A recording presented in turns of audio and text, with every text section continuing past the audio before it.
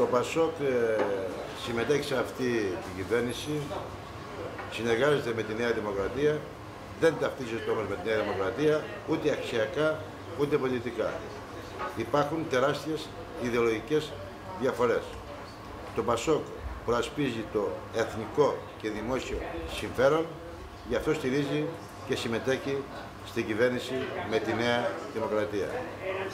Ο κύριος Σαμαράς και η Νέα Δημοκρατία, οι οποίοι επί δύο χρόνια, όταν άρχισε η κρίση, ουδέμια στήριξη έδωσαν στην κυβέρνηση του Πασόκ, το Πασόκ όμως ε, θέτοντας πρώτιστα την εθνική αναξαρτησία της χώρας, την ανάγκη στην οποία βρίσκεται σήμερα η χώρα, συνεργάζεται με τη Νέα Δημοκρατία, τώρα θα καταλάβουν οι της Νέας Δημοκρατίας αυτά που για δύο χρόνια δεν καταλάβαιναν όταν άφησαν το Πασόκ από μόνο του να προχωρήσει μέσα σε αυτή την δύσκολη οικονομική συγκυρία η οποία υπήρχε τότε και βεβαίως υπάρχει και σήμερα. Εύχομαι η κυβέρνηση αυτή να πετύχει, δεν υπάρχει άλλη πλέον προοπτική, τα πράγματα είναι αρκετά δύσκολα, τέρμα πλέον ο λαός δεν θέλει παχές κουβέντες και παχιά λόγια. Τώρα θα δοκιμαστούν όλοι και βέβαια αυτοί που επαναλαμβάνω που επί δύο χρόνια έκαναν αντιπολίτευση όταν η χώρα βρισκόταν στον κρεμό.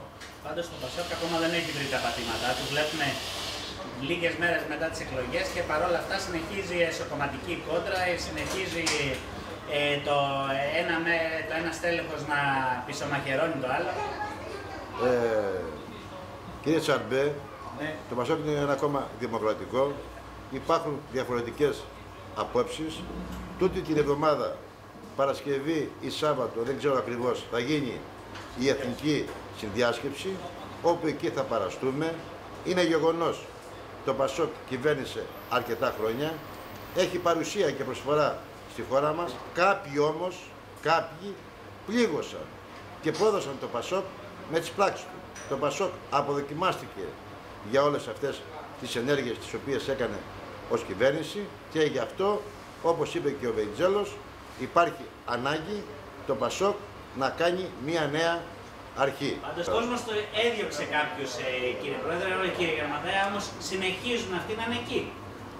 Βεβαίως. Να θέλουν να παίξουν ρόλο στην επόμενη μέρα. Ο Πρόεδρος μιλάει για νέο Πασόκ. Εκεί θα κληθούν άτομα τα οποία θέλουν τη συνέχεια του Πασόκ και εκεί ο καθένας θα αναλάβει τις πολιτικές του ευθύνες απέναντι στην παράταξη και βέβαια στον ελληνικό λαό. Τα πώς θα είναι; Αυτά θα τα δούμε όταν έχουμε και επίσημα τις θέσεις του κινήματος και του Προέδρου. Έχουμε επίσημα 1,5 εκατομμύριο ανέργους και όσο πάει η ενεργεία ανεβαίνει, κύριε Το μεγάλο πρόβλημα το οποίο πρέπει να αντιμετωπίσει αυτή η κυβέρνηση, θα έλεγα η κυβέρνηση συνεργασίας, εθνικής ανάγκης, πέστε όπως θέλετε, είναι το θέμα της, της ανεργίας. Εδώ ακόμη δεν έχει γίνει τίποτα.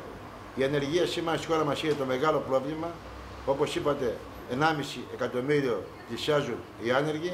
Δεν έχει γίνει τίποτα και πολίτης ο οποίος είναι άνεργος είναι ανασφαλής. Και στο νομό Κορινθίας έχουμε μεγάλα ποσοστό ανεργίας, αγγίζουν περίπου το 30% και στις νέες ηλικίες ενδεχομένως ξεπερνάνε και το 60%.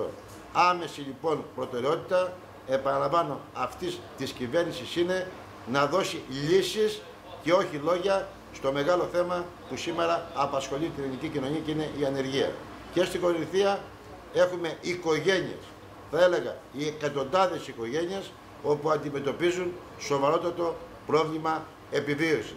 Αυτό είναι γνωστό σε όλους, άρα άμεσα χρειάζεται ανάπτυξη, χρειάζονται επενδύσεις και επενδύσεις έχει ανάγκη και η Κορινθία για να έχουμε νέες θέσεις εργασίας.